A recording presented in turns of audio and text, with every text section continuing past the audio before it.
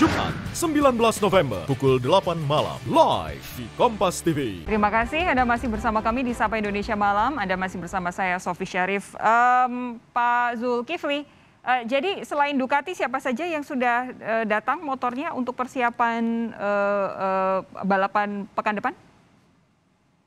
Kalau logistiknya hampir semua ya, bukan hanya untuk uh, Asia Talent Cup yang mulai kualifikasinya besok dan racingnya uh, lusa, tapi logistik untuk World Superbike pun sudah, saya kira sudah hampir semuanya sudah tiba di Lombok. Hmm. Tinggal kan ada persoalan visa yang harus melalui Jakarta karena memang belum ada direct flight dari uh, luar negeri ke Lombok ya, mereka harus melalui Jakarta dulu sehingga proses administrasinya harus selesai di Jakarta. Jadi mudah-mudahan kalau tidak ada arahan merintang berita yang kami dapat tanggal 15 November uh, pembalapnya mulai hadir berdatangan di Lombok, Nusa Tenggara Barat.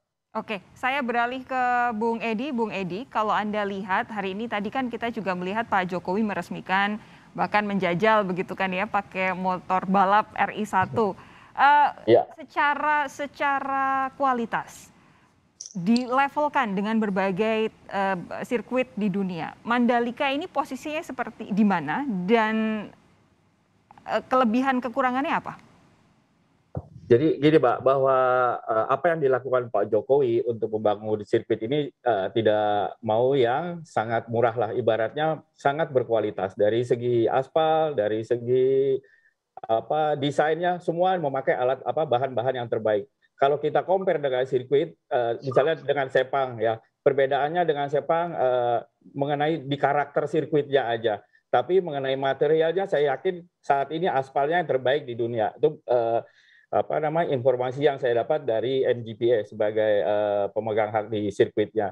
Dan mungkin Pak Gubernur juga sangat paham sekali waktu kita kunjungan dulu, itu memang uh, berlapis-lapis itu aspal di apa dipasang untuk menghindari uh, misalnya hujan yang deras hmm. biar gimana airnya cepat surut gitu kalau ya. panas ya. juga tidak tidak apa tidak ta, aspalnya tidak memuai jadi semua dipakai adalah yang terbaik mbak jadi saya rasa uh, ini udah dan diakui oleh Dorna ini sangat layak untuk uh, kejuaraan dunia oke jadi, itu itu hmm. bagian aspalnya bagaimana dengan uh, daya dukung di sekitar sirkuit sendiri mengenai daya dukung, uh, misalnya dari segi untuk pariwisata, misalnya hotel uh, atau transportasi, saya yakin Pak Gubernur sudah mempertimbangkan segalanya.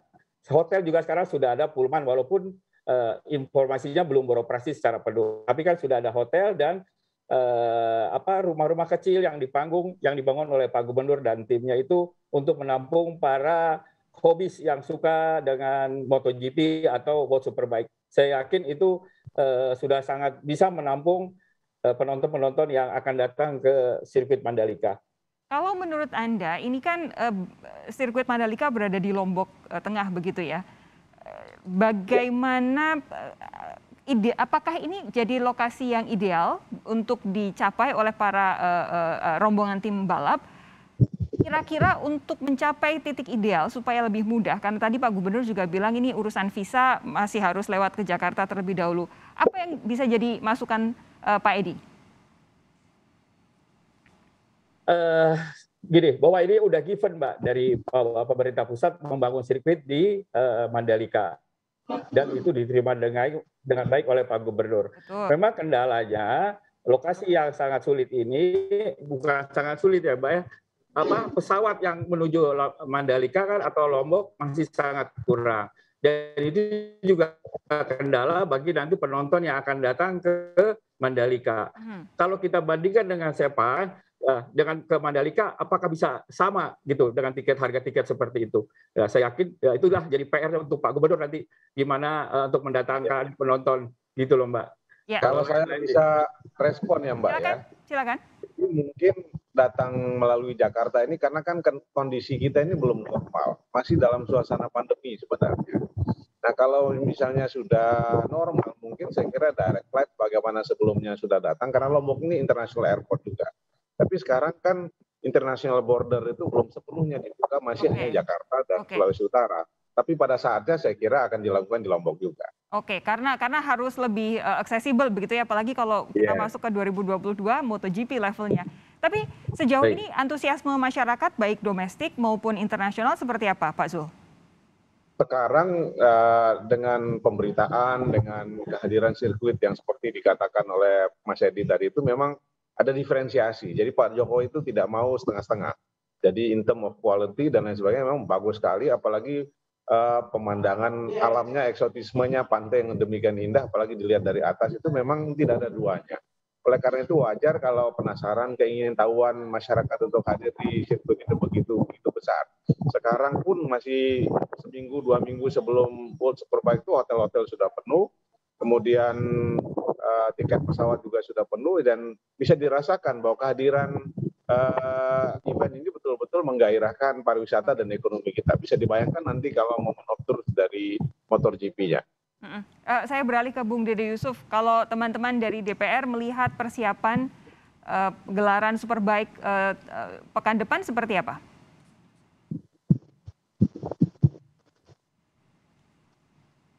Bung Dede Yusuf, kami mengalami gangguan. Oh sorry.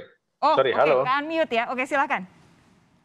Ya, uh, jadi kami optimis di Komisi 10 itu jujur dua tahun kita ini kan boleh dikatakan perhelatan olahraga sangat sedikit sekali. Mm-mm. Baru terakhir kemarin PON itu juga membanggakan ya. Dan Superbike ini juga bagi kami adalah sebuah momentum. Momentum penting untuk mengembalikan dua hal. Yang pertama adalah event-event olahraga. Yang kedua adalah sport tourism. Nah, kalau berbicara mengapa dipilih Mandalika, jawabannya sederhana. Kita tahu Bali, NTB, NTT adalah daerah kunjungan wisata ya. yang boleh dikatakan sudah punya nama dalam percaturan internasional. Tentu masing-masing memiliki spesifik kekhasannya masing-masing. Bali dengan khas budayanya, ya. Nanti NTT dengan Labuan Bajo dan lain-lain. Nah NTB ini pun kalau kita lihat dari berdasarkan kunjungan cukup signifikan. Hanya masalahnya yang spesifiknya belum tadi kata Pak Gubernur kan bukan hanya apa tadi ayam taliwang saja, harus ada yang lain. Nah, menurut hemat kami bahwa menurut uh, desain besar olahraga itu harus jelas. Apabila sudah ditaruh olahraga motor atau mobil atau otomotif di Mandalika atau di NTB ini, juga lainnya pun yang berkaitan dengan industri otomotif harus ada di situ. Hmm. Karena kalau tidak nanti dia berdiri sendiri, dia hanya ber, berbentuk satu sirkuit yang belum tentu kemudian ada event-event kejuaraan superbike lainnya. Tapi kalau yeah. di situ ada industri-industri otomotif, ada karoseri mobil, ada pengembangan uh, kita sebut saja yang berkaitan sama produk-produk mobil dan otomotif, saya yakin otomatis orang akan begitu beranggapan kita mau nonton, eh, kita pengen tahu tentang dunia otomotif, itu larinya ke Mandalika. Siapa tahu Pak Edi Saputra besok akan berkantor nanti di Mandalika. Nah, harus ini hal-hal seperti inilah yang mesti menjadi catatan bagi pemerintah. Jadi ini... bukan hanya membangun venue-nya, tapi membangun sustainability-nya, hmm. keberlanjutannya. Begitu Mas Dede, hmm. ini Mbak Sofi, ya. saya mohon maaf. Tadinya saya mengira Mas Dede ini masih pimpinan Komisi 9, rupanya sekarang di Komisi 10. ya, ya mohon maaf jadi saya sangat uh, antusias ini ada Mas Dede ini kebetulan apa yang disampaikan beliau dan memang tradisi motor di NTB ini luar biasa dulu pembalap pembalap nasional pun berasal dari sini seperti Joni Pranata dan lain-lain bahkan oh. kemarin Mas Dede yang merebut medali emas uh, motor itu pembalap dari Nusa Tenggara Barat. Dari PON tapi ya? Yang, uh, uh, tapi yang saya inginkan juga kenapa Mas Dedi perlu ke sini dan saya dengar dua minggu lagi teman-teman Komisi 10 ini datang Ya, ini ITDC itu sudah menyediakan. ITDC ini kan kawasan, Mas Dede. Jadi ya. international ya. event itu bisa dilakukan di sini. Bahkan ITDC itu menyediakan satu komplek kalau bisa Pak Menpora dan Komisi 10 itu ada sirkuit atletik internasional di dalam Mandalika ini. Uh-huh. Karena bagaimanapun atletik kemarin kita merebut medali emas banyak di di di PON, bahkan pelari-pelari ya, ya. atletik dari NTB ini ada yang jadi Betul. juara dunia. Nah, ya, oleh karena itu kalau punya misalnya sport event, positioningnya nanti nanti bisa spesifik di sini, kita punya sirkuit motor dan juga pelari-pelari atletik ini bisa diakomodir, saya kira Mandalika will be one of the best destination okay. di dunia. Bu Dede silakan ditanggapi. Ya, sebagai orang yang pernah bergelut jadi orang Pemda, saya paham ini impian yang memang harus direalisasikan. Ya, oleh karena itu Pak Gubernur tidak bisa uh, ibaratnya hanya uh, mengharapkan dukungan dari pusat saja, Pak Gubernur bisa melakukan kerjasama-kerjasama juga dengan investasi dari luar, dengan hmm. swasta.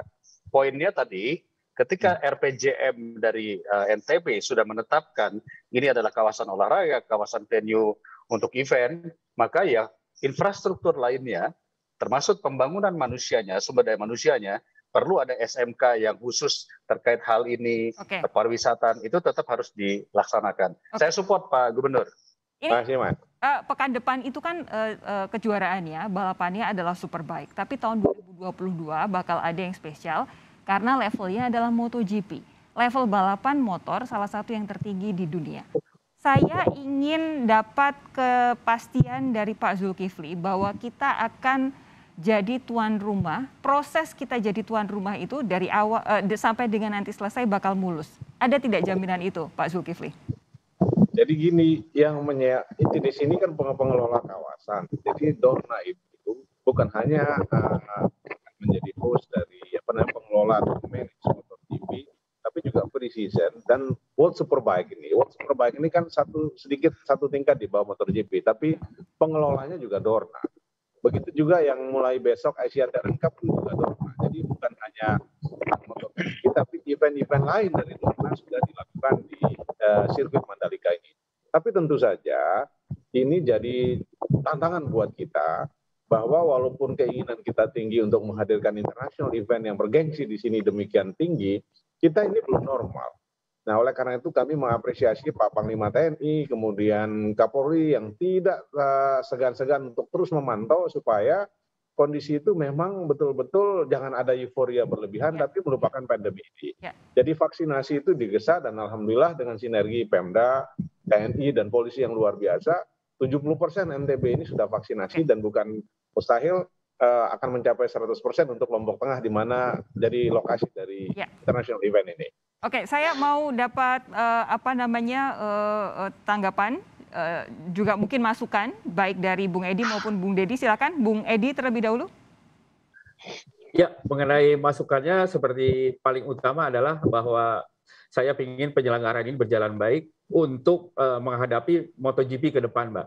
Kalau event ini terasa kurang baik atau banyak kekurangan, saya rasa nanti akan banyak komplain di event yang lebih besar yaitu MotoGP. Mm-hmm. Jadi uh, apa? Uh, memang Pak Gubernur udah yakin lah itu dengan timnya sangat berkoordinasi dengan MGPA, dengan ITDC maupun dengan Dorna untuk mensukseskan ya WSBK ini, Mbak.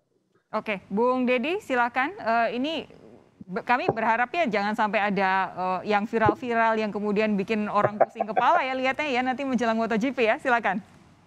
Ya, ya catatan catatan penting tentunya adalah panitia uh, yang saat ini berada di apa di ICBC ini benar-benar mulai mensortir lah melakukan semacam screening komitmen kepada para pekerja yang ada di sana bahwa ini adalah acara negara. Kita harus melihat ini adalah acara negara, hmm. ya. Itu yang pertama. Yang kedua, tentunya sebagaimana juga dengan apa yang terjadi di PON, di tempat-tempat lain, pembangunan infrastruktur yang mem, um, mengambil anggaran triliunan, itu tadi saya katakan harus sustain dan harus ada perencanaan yang matang. Yeah. Artinya kita harus mulai berpikir ke depan satu bekerja sama dengan kampus sehingga apa namanya eh, venue-venue yang luar biasa seperti ini bisa termanfaatkan untuk dari sisi pendidikan, pengembangan, bekerja sama dengan dunia usaha, dunia industri, ya mungkin ada apa di situ supaya bukan hanya menunggu event tahunan saja, tetapi ada yang berkelanjutan. Yang tadi dan yang tentu yang kami dorong adalah sport tourism karena saya lihat dari gambar ini ya, dari video ini kan pantainya indah sekali. Betul. Saya membayangkan ini bukan hanya MotoGP, bukan hanya Superbike, tapi nanti ke depan ada misalnya speedboat race, ya, hmm. ataupun juga uh, apa namanya uh, sport yang berkaitan sama kapal. Karena kalau sudah ada kapal, sudah ada mobil, itu otomatis akan menarik investasi asing juga ya. untuk masuk uh, membuat event-event internasional. Itu gambaran saya yang pertama itu, Mbak. Oke. Okay. Yang kita harapkan tentu saja setelah eh, event-event uh, besar ini di tengah-tengahnya harus ada event-event yang bisa menggunakan Mandalika juga supaya lebih sustainable karena kita sudah banyak belajar dari beberapa uh, negara yang menyelenggarakan Piala Dunia banyak sekali stadion-stadionnya yang akhirnya mangkrak tidak terpakai. Akan sangat sayang sekali Mandalika yang sangat cantik ini kalau sampai kemudian tidak dimanfaatkan secara maksimal. Pak Zul, Bung Dedi, Bung Edi, terima kasih sudah bergabung di Sapa Indonesia Malam. Sehat terus. Kita jumpa Selamat lagi lain waktu ya. Terima kasih, sama-sama. Terima Pak Gubernur, kasih. terima kasih. Pak Edi. Pak Gubernur, ya, Oke. Pak Dede. Saudara saya